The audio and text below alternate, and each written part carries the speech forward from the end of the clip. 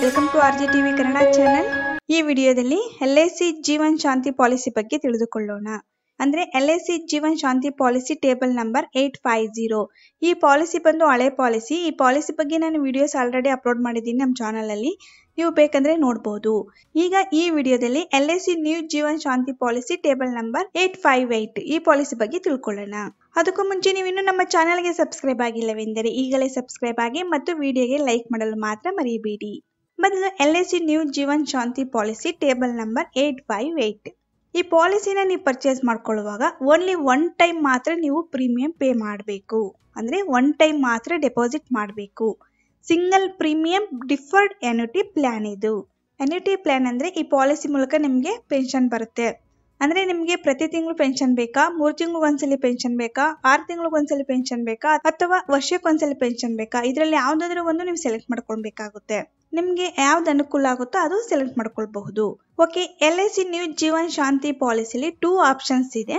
ಒಂದು deferred annuity for single life second option deferred annuity for joint life option one deferred annuity for single life ಅಂದ್ರೆ suppose ನೀವು ಈ ಜೀವನ್ ಶಾಂತಿ ಪಾಲಿಸಿನ purchase ಮಾಡ್ಕೊಂಡಿರ್ತೀರಾ. ಆ policy holder ಬದುಕಿರೋವರೆಗೂ ಅವ್ರಿಗೆ pension ಬರ್ತಾ ಇರುತ್ತೆ. ಸಿಂಗಲ್ ಲೈಫ್ ಅಂದ್ರೆ. ಆ ಪಾಲಿಸಿ ಹೋಲ್ಡರ್ ಡೆತ್ ಆದ್ಮೇಲೆ ಅವ್ರು ಏನ್ ಡೆಪಾಸಿಟ್ ಮಾಡಿದಾರಲ್ವಾ ಅಮೌಂಟ್ ಅದಕ್ಕೆ ಏನ್ ಅಮೌಂಟ್ ಎಕ್ಸ್ಟ್ರಾ ಬರುತ್ತೋ ಅದನ್ನ ಸೇರಿಸಿ ಎಲ್ ಐ ಸಿ ಸಂಸ್ಥೆಯವರು ಆ ಪಾಲಿಸಿ ಹೋಲ್ಡರ್ ನಾಮಿನಿಗೆ ಕೊಡ್ತಾರೆ, ನಂತರ ಪಾಲಿಸಿ ಕ್ಯಾನ್ಸಲ್ ಆಗುತ್ತೆ. Option two deferred annuity for joint life ಅಂದ್ರೆ ಸಪೋಸ್ ನೀವು ಈ ಪಾಲಿಸಿ ಪರ್ಚೇಸ್ ಮಾಡ್ಕೊಂಡಿರ್ತೀರಾ ಪಾಲಿಸಿ ಹೋಲ್ಡರ್ ಬದುಕಿರೋವರೆಗೂ ಪೆನ್ಷನ್ ಬರ್ತಾ ಇರುತ್ತೆ. ಆ ಪಾಲಿಸಿ ಹೋಲ್ಡರ್ ಡೆತ್ ಆದ್ಮೇಲೆ ಸೆಕೆಂಡ್ ಹೋಲ್ಡರ್ ಇರ್ತಾರಲ್ವಾ, ಅವ್ರಿಗೂ ಕೂಡ ಆ ವ್ಯಕ್ತಿ ಬದುಕಿರೋವರೆಗೂ ಕೂಡ ಪೆನ್ಷನ್ ಬರ್ತಾ ಇರುತ್ತೆ. ಆ ವ್ಯಕ್ತಿ ಕೂಡ ಡೆತ್ ಆದ್ಮೇಲೆ ಅವರು ಡೆಪಾಸಿಟ್ ಮಾಡಿದ ಅಮೌಂಟ್ನ ಯಾರು ನಾಮಿನಿ ಇರ್ತಾರೋ ಆ ನಾಮಿನಿಗೆ ಕೊಡ್ತಾರೆ. ಜಾಯಿಂಟ್ ಲೈಫ್ ಅಂದ್ರೆ ನಿಮ್ಮ ಫ್ಯಾಮಿಲಿ ಮೆಂಬರ್ಸ್ ಯಾರನ್ನಾದ್ರೂ ನೀವು ಆಡ್ ಮಾಡ್ಕೊಳ್ಬಹುದು. ಓಕೆ ನೀವು ಕೂಡ ಈ ಪಾಲಿಸಿ ಪರ್ಚೇಸ್ ಮಾಡ್ಕೊಳ್ಳೋದಕ್ಕೆ ಏಜ್ ಎಟ್ ಎಂಟ್ರಿ ನೋಡೋದಾದ್ರೆ ಮಿನಿಮಮ್ ಮೂವತ್ತು ವರ್ಷ ಕಂಪ್ಲೀಟ್ ಆಗಿರುವಂತಹ ವ್ಯಕ್ತಿಗಳು ಈ ಪಾಲಿಸಿನ ಪರ್ಚೇಸ್ ಮಾಡ್ಕೊಳ್ಬಹುದು. ಮ್ಯಾಕ್ಸಿಮಮ್ ಏಜ್ ಎಟ್ ಎಂಟ್ರಿ ಎಪ್ಪತ್ತೊಂಬತ್ತು ವರ್ಷ.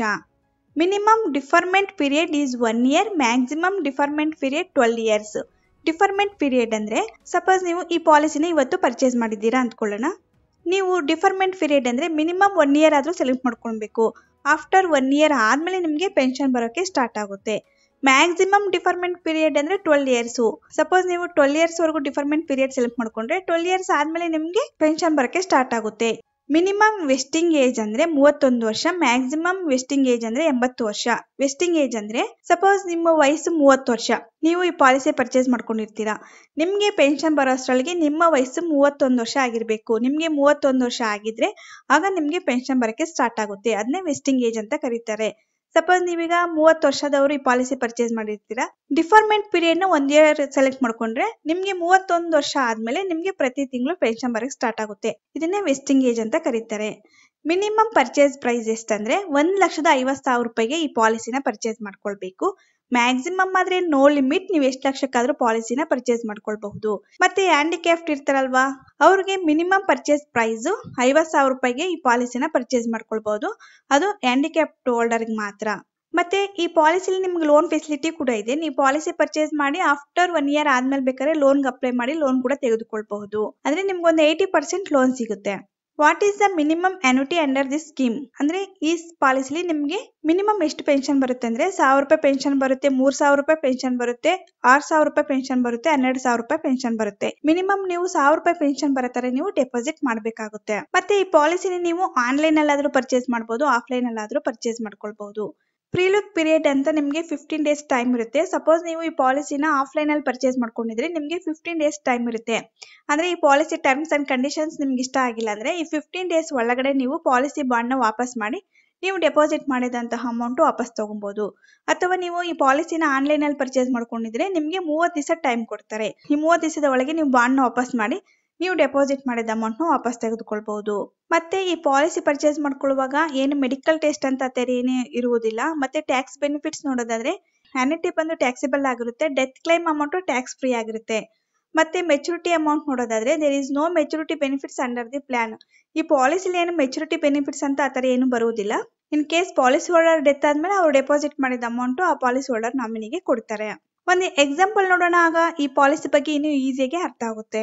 ಫಾರ್ ಎಕ್ಸಾಂಪಲ್ ಮೂವತ್ತೈದು ವರ್ಷದ ವ್ಯಕ್ತಿ ಪಾಲಿಸಿ ಪರ್ಚೇಸ್ ಮಾಡಿದ್ದಾರೆ. ಅವರು ಸಿಂಗಲ್ ಲೈಫ್ ಆಪ್ಷನ್ ಸೆಲೆಕ್ಟ್ ಮಾಡ್ಕೊಂಡಿದ್ದಾರೆ ಅವರು pension start after twelve years ಅಂದ್ರೆ ಡಿಫರ್ಮೆಂಟ್ ಪೀರಿಯಡ್ ಅವರು ಟ್ವೆಲ್ ಇಯರ್ಸ್ ಅಲ್ಲಿ ಮಾಡ್ಕೊಂಡಿದ್ದಾರೆ ಅಂದ್ರೆ ಟ್ವೆಲ್ ಇಯರ್ಸ್ ಆದ್ಮೇಲೆ ಅವ್ರಿಗೆ ಪೆನ್ಷನ್ ಬರಕ್ಕೆ ಸ್ಟಾರ್ಟ್ ಆಗೋದು. ಅವ್ರ ಪರ್ಚೇಸ್ ಅಮೌಂಟ್ ಬಂದು ಒಂದ್ ಲಕ್ಷದ ಐವತ್ ಸಾವಿರ ರೂಪಾಯಿಗೆ ಈ ಪಾಲಿಸಿನ ಪರ್ಚೇಸ್ ಮಾಡ್ಕೊಂಡಿದ್ದಾರೆ. ಹಾಗಾದ್ರೆ ಅವ್ರಿಗೆ ಎಷ್ಟು ಪೆನ್ಷನ್ ಬರುತ್ತೆ ಅಂತ ನೋಡೋಣ. ಓಕೆ ಡೆಪಾಸಿಟ್ ಅಮೌಂಟ್ ಒಂದ್ ಲಕ್ಷದ ಐವತ್ ಸಾವಿರ ರೂಪಾಯಿ ಪ್ಲಸ್ ಜಿ ಎಸ್ ಟಿ ಕೂಡ ಆಡ್ ಮಾಡ್ತಾರೆ. ಎರಡ್ ಸಾವಿರದ ಏಳ್ನೂರು ರೂಪಾಯಿ. ಆಗ ಒಂದ್ ಲಕ್ಷದ ಐವತ್ತೆರಡು ಸಾವಿರದ ಏಳ್ನೂರು ರೂಪಾಯಿ ನೀವು ಒನ್ ಟೈಮ್ ಡೆಪಾಸಿಟ್ ಮಾಡಬೇಕು. ಅವರು ಡಿಫರ್ಮೆಂಟ್ ಪೀರಿಯಡ್ ಟ್ವೆಲ್ ಇಯರ್ಸ್ ಇಟ್ಕೊಂಡಿದಾರಲ್ವಾ ಟ್ವೆಲ್ ಇಯರ್ಸ್ ಕಂಪ್ಲೀಟ್ ಆದ್ಮೇಲೆ ಅವರಿಗೆ ಏಜ್ ನಲವತ್ತೇಳು ವರ್ಷ ಆಗುತ್ತೆ. ಆ ನಲವತ್ತೇಳನೇ ವರ್ಷದಲ್ಲೇ ಅವ್ರಿಗೆ ಪೆನ್ಷನ್ ಸ್ಟಾರ್ಟ್ ಆಗುತ್ತೆ. ಅವರು ವರ್ಷಕ್ಕೊಂದ್ಸಲಿ ಪೆನ್ಷನ್ ಬೇಕು ಅಂತ ಸೆಲೆಕ್ಟ್ ಮಾಡ್ಕೊಂಡ್ರೆ ಅವರಿಗೆ ಪ್ರತಿ ವರ್ಷ ಹದ್ಮೂರ್ ಸಾವಿರದ ಒಂಬೈನೂರ ಐದು ರೂಪಾಯಿ ಅಂತ ಪೆನ್ಷನ್ ಬರ್ತಾ ಇರುತ್ತೆ. ಆ ವ್ಯಕ್ತಿ ಬದುಕಿರೋವರೆಗೂ ಈ ಪೆನ್ಷನ್ ಬರ್ತಾ ಇರುತ್ತೆ. ಅಥವಾ ನನಗೆ ಆರು ತಿಂಗಳಿಗೊಂದ್ಸಲಿ ಪೆನ್ಷನ್ ಬೇಕು ಅಂತ ಸೆಲೆಕ್ಟ್ ಮಾಡ್ಕೊಂಡ್ರೆ ಆರ್ ಸಾವಿರದ ಎಂಟುನೂರ ಹದಿಮೂರು ರೂಪಾಯಿ ಬರುತ್ತೆ. ಅಥವಾ ಮೂರ್ ತಿಂಗಳಿಗೊಂದ್ಸಲಿ ಪೆನ್ಷನ್ ಬೇಕಂತ ಸೆಲೆಕ್ಟ್ ಮಾಡ್ಕೊಂಡ್ರೆ ಮೂರ್ ಸಾವಿರದ ಮುನ್ನೂರ ಎಪ್ಪತ್ತೆರಡು ರೂಪಾಯಿ ಬರುತ್ತೆ. ಅಥವಾ ಪ್ರತಿ ತಿಂಗಳು ಪೆನ್ಷನ್ ಬೇಕಂತ ಸೆಲೆಕ್ಟ್ ಮಾಡ್ಕೊಂಡ್ರೆ ಸಾವಿರದ ನೂರ ಹನ್ನೆರಡು ರೂಪಾಯಿ ಪೆನ್ಷನ್ ಬರುತ್ತೆ. ಓಕೆ ನಾವಿಲ್ಲಿ ಸಿಂಗಲ್ ಲೈಫ್ ಸೆಲೆಕ್ಟ್ ಮಾಡ್ಕೊಂಡಿದೀವಲ್ವಾ ಹಾಗಾಗಿ ಆ ಪಾಲಿಸಿ ಹೋಲ್ಡರ್ ಬದುಕಿದವ್ರಿಗೂ ಅವರು ಯಾವ ಆಪ್ಷನ್ ಸೆಲೆಕ್ಟ್ ಮಾಡ್ಕೊಂತಾರೆ ಅಷ್ಟು ಪೆನ್ಷನ್ ಅಮೌಂಟ್ ಬರ್ತಾ ಇರುತ್ತೆ. ಆ ಪಾಲಿಸಿ ಹೋಲ್ಡರ್ ಡೆತ್ ಆದ್ಮೇಲೆ ಅವರು ಡೆಪಾಸಿಟ್ ಮಾಡಿದ ಅಮೌಂಟ್ ಅದಕ್ಕೆ ಎಷ್ಟು ಅಮೌಂಟ್ ಬಂದ್ರೆ ಅದನ್ನ ಸೇರಿಸಿ ಎಲ್ ಐ ಸಿ ಸಂಸ್ಥೆಯವರು ಆ ಪಾಲಿಸಿ ಹೋಲ್ಡರ್ ನಾಮಿನಿಗೆ ಕೊಡ್ತಾರೆ, ನಂತರ ಪಾಲಿಸಿ ಕ್ಯಾನ್ಸಲ್ ಆಗುತ್ತೆ. ಓಕೆ ನೆಕ್ಸ್ಟ್ ಇನ್ನೊಂದು ಎಕ್ಸಾಂಪಲ್ ನೋಡೋಣ. ಫಾರ್ ಎಕ್ಸಾಂಪಲ್ ಮೂವತ್ತೈದು ವರ್ಷದ ವ್ಯಕ್ತಿ ಪಾಲಿಸಿ ಪರ್ಚೇಸ್ ಮಾಡಿದ್ದಾರೆ. ಅವರು ಜಾಯಿಂಟ್ ಲೈಫ್ ಆಪ್ಷನ್ ಸೆಲೆಕ್ಟ್ ಮಾಡ್ಕೊಂಡಿದ್ದಾರೆ. ಅಂದ್ರೆ ಅವ್ರ ಜೊತೆಗೆ ಇನ್ನೊಬ್ರು ಸೆಕೆಂಡರಿ ಹೋಲ್ಡರ್ಸ್ ಕೂಡ ಆಡ್ ಮಾಡ್ಕೊಂಡಿದ್ದಾರೆ. ಅವರ ಏಜ್ ಬಂದ್ಬಿಟ್ಟು ಮೂವತ್ತು ವರ್ಷ. ಅವರು ಡಿಫರ್ಮೆಂಟ್ ಪೀರಿಯಡ್ನ ಒನ್ ಇಯರ್ ಸೆಲೆಕ್ಟ್ ಮಾಡ್ಕೊಂಡಿದ್ದಾರೆ. ಅಂದ್ರೆ ಒನ್ ಇಯರ್ ಆದ್ಮೇಲೆ ನೆಕ್ಸ್ಟ್ ಇಯರ್ ಇದೆ ಅವ್ರಿಗೆ ಪೆನ್ಷನ್ ಬರಕ್ಕೆ ಸ್ಟಾರ್ಟ್ ಆಗುತ್ತೆ. ಅವ್ರ ಪರ್ಚೇಸ್ ಅಮೌಂಟ್ ಬಂದು ಒಂದ್ ಲಕ್ಷದ ಐವತ್ ಸಾವಿರ ರೂಪಾಯಿಗೆ ಈ ಪಾಲಿಸಿನ ಪರ್ಚೇಸ್ ಮಾಡ್ಕೊಂಡಿದ್ದಾರೆ. ಓಕೆ ಹಾಗಾದ್ರೆ ಅವ್ರಿಗೆ ಪೆನ್ಷನ್ ಎಷ್ಟು ಬರುತ್ತೆ ಅಂತ ನೋಡೋಣ. ನೋಡಿ ಡೆಪಾಸಿಟ್ ಅಮೌಂಟ್ ಒಂದ್ ಲಕ್ಷದ ಐವತ್ ಸಾವಿರ ರೂಪಾಯಿ ಜಿ ಎಸ್ ಟಿ ಎರಡ್ ಸಾವಿರದ ಏಳ್ನೂರು ರೂಪಾಯಿ ಆಡ್ ಮಾಡ್ತಾರೆ. Final one time deposit amount ಒಂದ್ ಲಕ್ಷದ ಐವತ್ತೆರಡು ಸಾವಿರದ ಏಳ್ನೂರು ರೂಪಾಯಿ ನೀವು ಡೆಪಾಸಿಟ್ ಮಾಡಬೇಕು. ಆ ವ್ಯಕ್ತಿ deferment period one year select ಮಾಡ್ಕೊಂಡಿದ್ದಾರಲ್ವಾ? ಅವ್ರಿಗೆ ಮೂವತ್ತಾರು ವರ್ಷ ಆದ್ಮೇಲೆ ಅವ್ರಿಗೆ ಪೆನ್ಷನ್ ಬರಕ್ಕೆ ಸ್ಟಾರ್ಟ್ ಆಗುತ್ತೆ.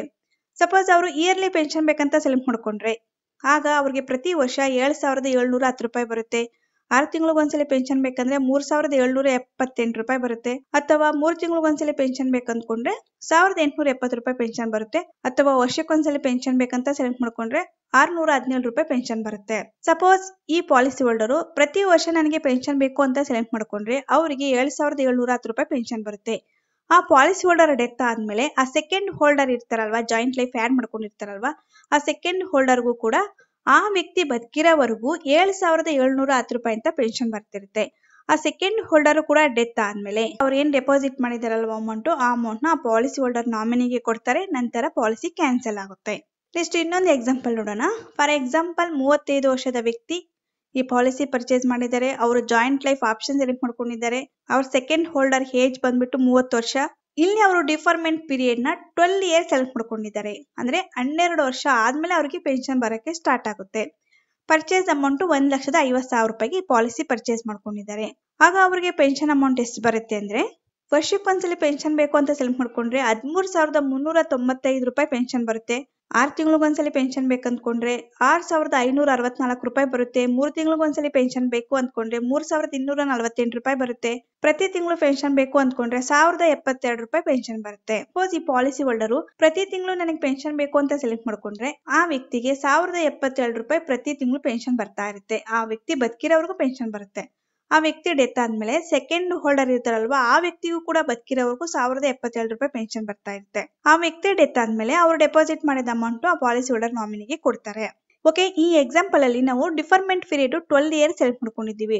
ಹಾಗಾಗಿ ಇಲ್ಲಿ ಅವರಿಗೆ ಪೆನ್ಷನ್ ಅಮೌಂಟ್ ಕೂಡ ಜಾಸ್ತಿ ಬರ್ತಿದೆ. ನಾವು ಇನ್ನೊಂದು ಎಕ್ಸಾಂಪಲ್ ನೋಡಿದ್ವಲ್ಲ, ಅದರಲ್ಲಿ deferment period one year select ಮಾಡ್ಕೊಂಡಿದ್ದೀವಿ. ಆಗ ನಮಗೆ ಪೆನ್ಷನ್ ಅಮೌಂಟ್ ಕಮ್ಮಿ ಬರ್ತಿದೆ. ನೋಡಿ, ಇಲ್ಲಿ ನಾವು ಸೇಮ್ ಅಮೌಂಟ್ನ ಡೆಪಾಸಿಟ್ ಮಾಡಿದ್ದೀವಿ. ಡಿಫರ್ಮೆಂಟ್ ಪೀರಿಯಡ್ನ ಒನ್ ಇಯರ್ ಸೆಲೆಕ್ಟ್ ಮಾಡ್ಕೊಂಡಿದ್ದೀವಿ. ಹಾಗಾಗಿ ಪ್ರತಿ ವರ್ಷ ಅವರಿಗೆ ಏಳ್ ಸಾವಿರದ ಏಳ್ನೂರ ಹತ್ತು ರೂಪಾಯಿ ಪೆನ್ಷನ್ ಬರ್ತಿದೆ. ಈ ಎಕ್ಸಾಂಪಲ್ ಎಲ್ಲ ನಾನು ಏನ್ ಮಾಡಿದೆ? Twelve years deferment period select ಮಾಡ್ಕೊಂಡಿದ್ದೀನಿ. ಇಲ್ಲಿ ಎಷ್ಟು ಬರ್ತಿದೆ ಪ್ರತಿ ವರ್ಷ ಅವರಿಗೆ? ಪೆನ್ಷನ್ ಅಮೌಂಟ್ ಹದಿಮೂರ್ ಸಾವಿರದ ಮುನ್ನೂರ ತೊಂಬತ್ತೈದು ರೂಪಾಯಿ ಪೆನ್ಷನ್ ಅಮೌಂಟ್ ಬರ್ತಿದೆ. ಡಿಫರ್ಮೆಂಟ್ ಪೀರಿಯಡ್ನ ಒನ್ ಇಯರ್ ಸೆಲೆಕ್ಟ್ ಮಾಡ್ಕೊಂಡ್ರೆ ನಮಗೆ ಪೆನ್ಷನ್ ಅಮೌಂಟ್ ಕೂಡ ಸ್ವಲ್ಪ ಕಡಿಮೆ ಬರುತ್ತೆ. ಅಂದ್ರೆ ನಾವು ಟ್ವೆಲ್ ಇಯರ್ಸ್ ವೇಟ್ ಮಾಡಿದ್ರೆ ನಮಗೆ ಪೆನ್ಷನ್ ಅಮೌಂಟ್ ಸ್ವಲ್ಪ ಜಾಸ್ತಿ ಬರುತ್ತೆ. Okay friends L I C Jeevan Shanti policy ಬಗ್ಗೆ ಗೊತ್ತಾಯ್ತಲ್ವಾ? ಈಗ ಎಲ್ಲಾ ಬ್ಯಾಂಕುಗಳಲ್ಲಿ ಕೂಡ ಎಫ್ ಡಿ ಇಂಟ್ರೆಸ್ಟ್ ರೇಟು ತುಂಬಾ ಕಡಿಮೆ ಇದೆ. ಆ ಇಂಟ್ರೆಸ್ಟ್ ರೇಟ್ ಕಂಪೇರ್ ಮಾಡ್ಕೊಂಡ್ರೆ ಈ ಪಾಲಿಸಿ ಬೆಟರ್ ಅಂತ ಹೇಳ್ಬಹುದು.